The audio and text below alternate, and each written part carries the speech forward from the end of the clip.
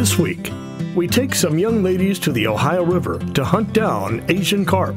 My favorite thing about bow fishing probably is just the experience and the thrill and being able to go out a bunch and just shoot fish, have fun.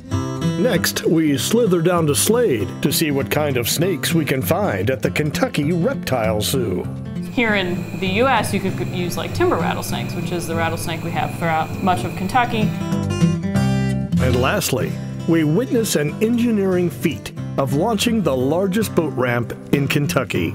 It's all next on Kentucky Afield.